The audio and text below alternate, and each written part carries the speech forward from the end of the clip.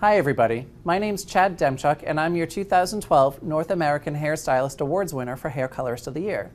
Today we're going to be talking about can cream developer be used without hair color to lighten hair?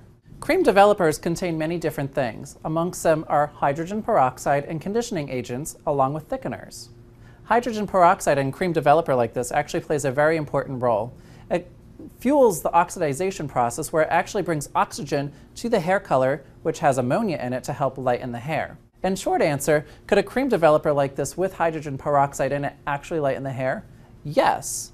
But on the flip side, there actually is no way for the hydrogen peroxide to control the hair color of what it will lift to. So when you use the cream developer on your virgin hair, it's going to lift it a little bit, but to what? Is it going to be yellow? Is it going to be orange? Is it going to be light brown? You really can't control what's going to happen with it, and that's why hair color needs to be used with the peroxide.